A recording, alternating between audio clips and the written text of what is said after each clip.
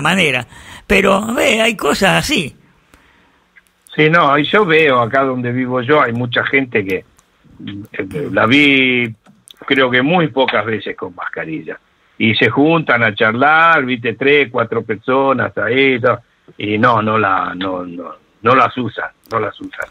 Yo como salgo de mi casa, yo la, la tengo y apenas bueno, yo salgo con la mascarilla directamente. Estoy en auto, solo obviamente no me la pongo porque veo gente que en auto solo una sola persona. No, yo cuando cuando por ejemplo, pero cuando bajo y estoy por entrar a un centro comercial, a un negocio, a un shopping o lo que sea y no, yo yo me la pongo enseguida. Por ejemplo, eh, eh, ayer que, que fui al supermercado que está la batería no mentana, entonces me vine caminando y crucé el puente viejo, ahí no había nadie, en toda esa parte, entonces me la bajé.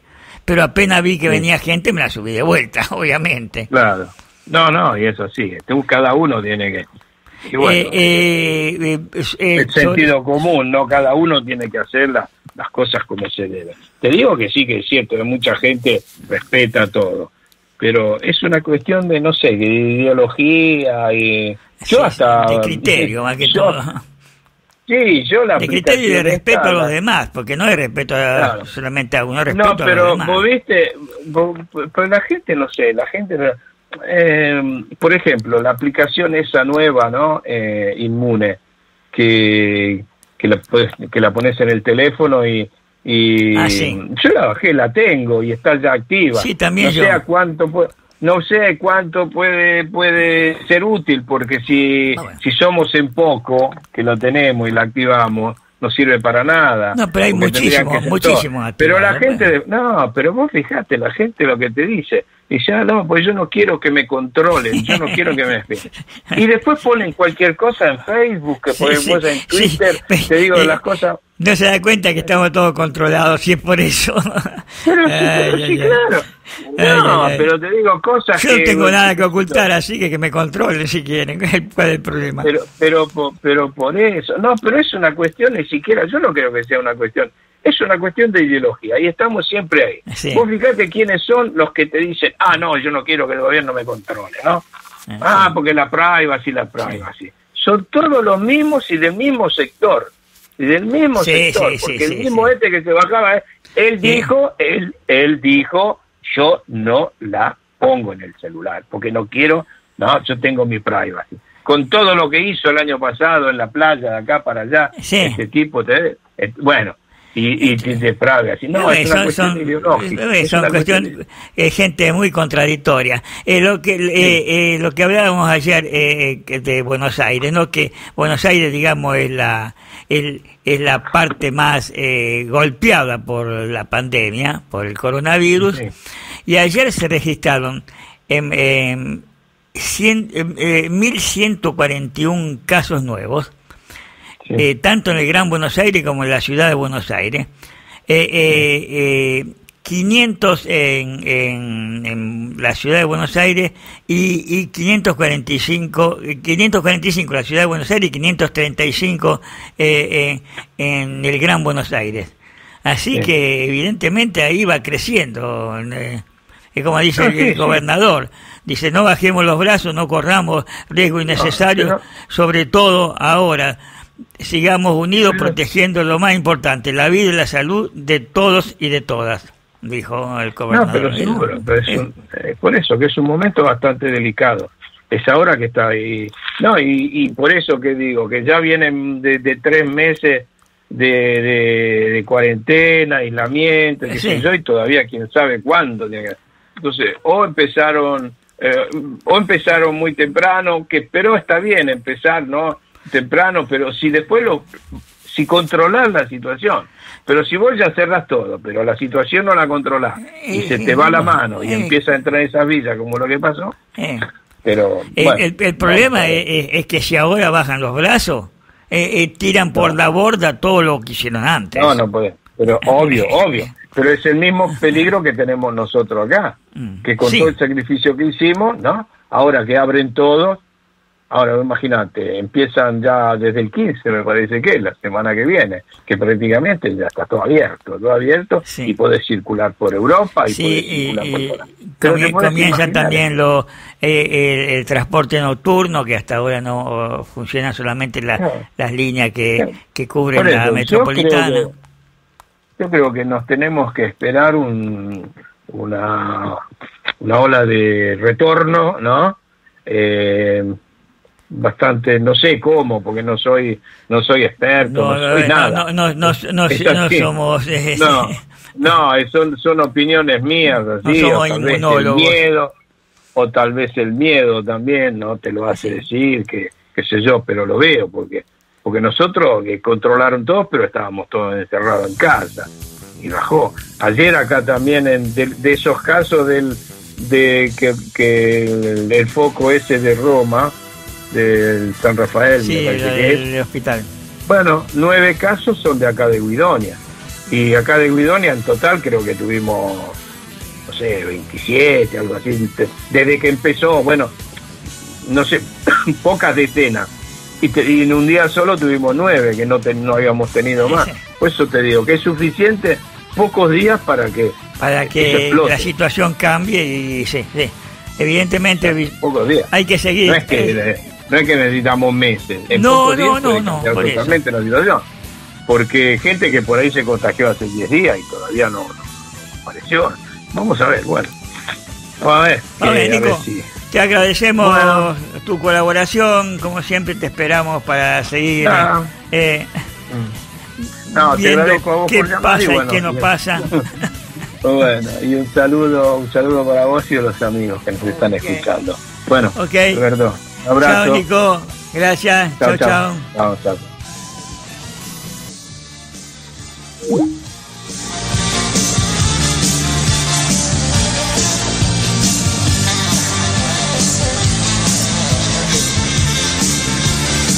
Y para escucharnos en vivo, en directo, en diferido, en podcast, escribe en tu teléfono, tu tableta o tu compu dialogando con Latinoamérica Spreaker y te aparecerá nuestro programa. Te recuerdo que Spreaker se escribe Spreaker con K. Entonces, dialogando con Latinoamérica Spreaker y a escucharnos.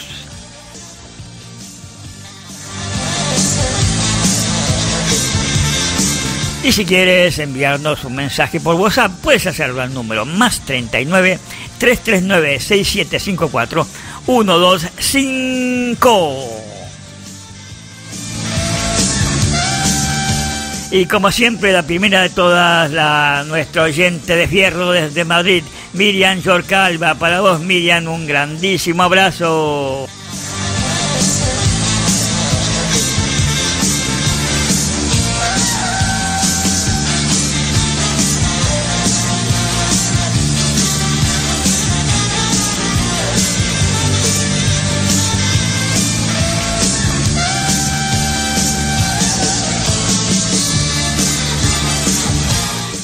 Y ahora vamos con las nuestras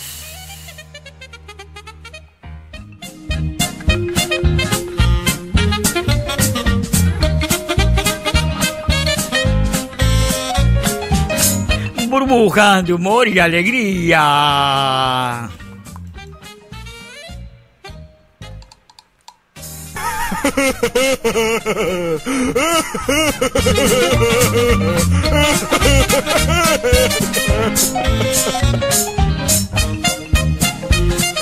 Ustedes sabían que reír cura la, la presión, el estrés y la angustia. Limpia y ventila los pulmones. Oxigena el cerebro y el cuerpo. Regulariza el pulso cardíaco disminuye la presión arterial de la sangre, ayuda a quemar calorías, se segrega, endorfinas, incrementa la confianza en uno mismo, potencia la creatividad, alivia el insomnio y ayuda a eliminar pensamientos negativos. Por eso, a reír.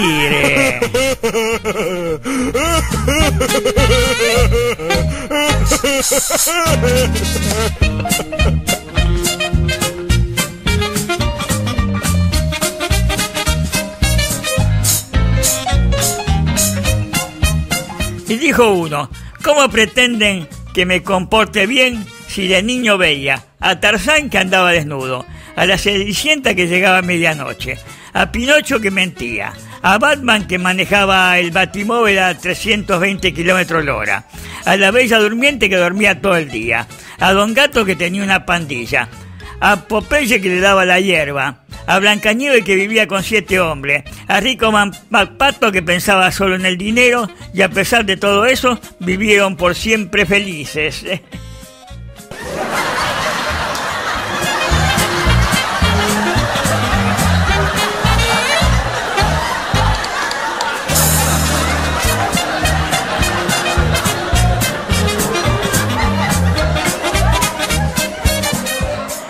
le dice el jefe al empleado, eh, Rodríguez, ¿dónde va usted tan raudo, circunspecto, asaz y atribulado?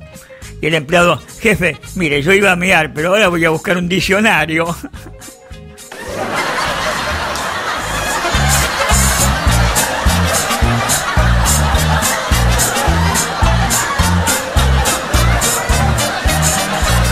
tipo llama a los bomberos, dice, socorro, dice, por favor, por favor, socorro, dice, se está quemando mi casa.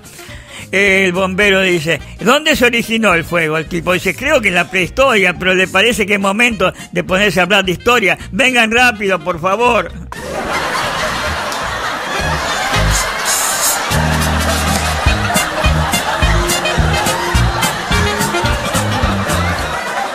Una viejita entra corriendo en la comisaría y dice, oficial, dice, me acaba de violar un empleado público. Y el oficial dice, pero señora, disculpe, dice, ¿cómo sabe usted que era un empleado público? Y la viejita dice, porque tuve que hacer todo yo.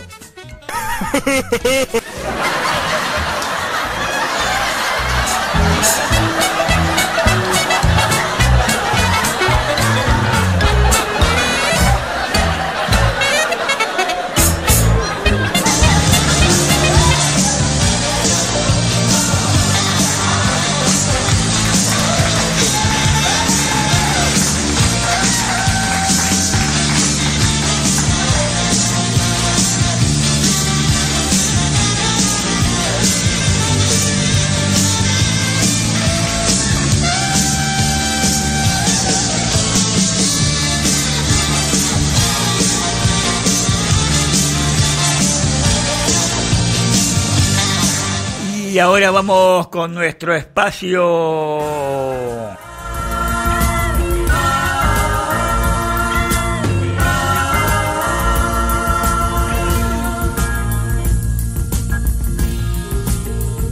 Defectos, virtudes, anécdotas y actitudes.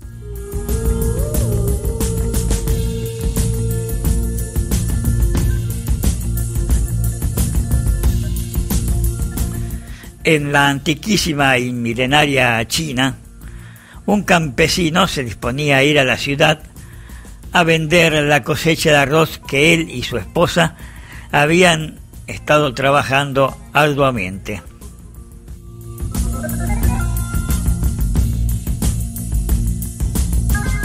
Su mujer le pidió que aprovechara la ocasión, ya que iba a la ciudad, para traerle un peine.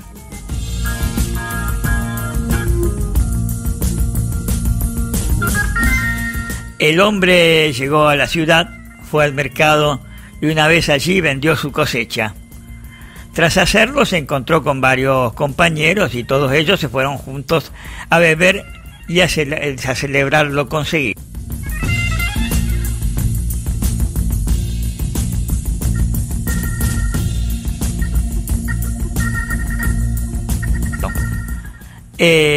En cierto momento el campesino recordó, desorientado, que su esposa le había pedido algo. Sin embargo, gracias a los efectos del alcohol, no lograba recordar qué era lo que le había pedido su esposa de traerle.